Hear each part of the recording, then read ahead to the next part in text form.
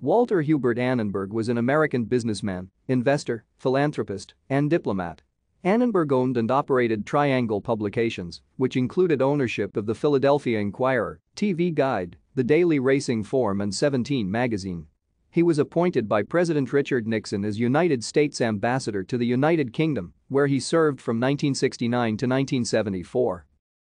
Annenberg was born in Milwaukee and raised in New York.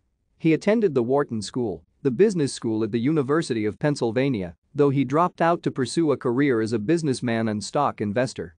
His father, Moses Annenberg, was convicted of tax evasion and incarcerated for two years.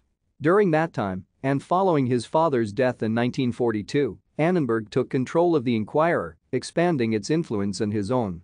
He built up his family's magazine business with great success, extending it into parts of the media industry such as radio and television during his tenure as U.S. Thank you for watching.